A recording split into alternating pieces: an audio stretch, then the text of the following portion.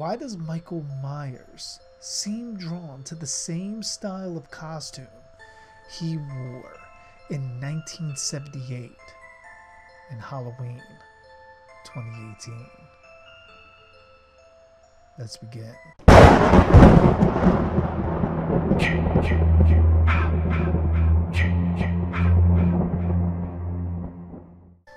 Ever since the first time we saw Michael Myers in his iconic coveralls and white mask, I have always wondered for a guy that is supposed to be instinctual and a force of nature, why does he always seem drawn to the same style costume, even in the now non canon Halloween films?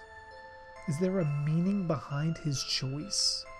Or was it just something he grabbed on a whim and have grown accustomed to it. My theory, which greatly applies to the new Blumhouse canon, is that I believe that Michael's costume is actually based on the one he wore as a child. Michael's mind being as warped as it is, I believe this is his rendition of the same clown costume he wore back in 1963 from the one piece clown bodysuit his parents caught him in as a child, being replaced by the one piece coveralls he wears as an adult in 1978. And instead of the plastic clown mask his father pulls off his face after stabbing Judith to death, he replaces it with a fish belly white Captain Kirk mask, which I think likely reminded Michael of a clown to begin with.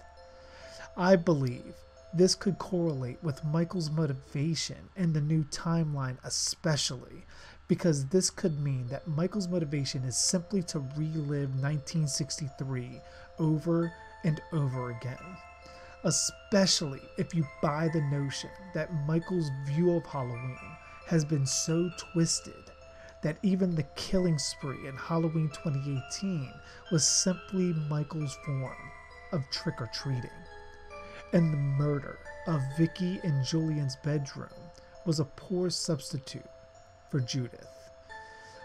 Similar to what Michael originally had in store for Laurie in the Wallace house in 1978. Now, this makes me also wonder if Michael always had this view of Halloween, and if he went trick or treating before killing Judith, did he possibly claim any other victims prior to her stabbing. But that's my theory.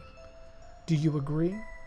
Or did Michael simply just grab the first thing he saw in the hardware store in 1978 and just grew fond of the look? Or was he supernaturally drawn to the mask? Comment below with your own theories and be sure to like, share, and subscribe as well as hitting the notification bell to be alerted whenever a new video is uploaded. And as always, I am JG Darhk, and thanks for watching.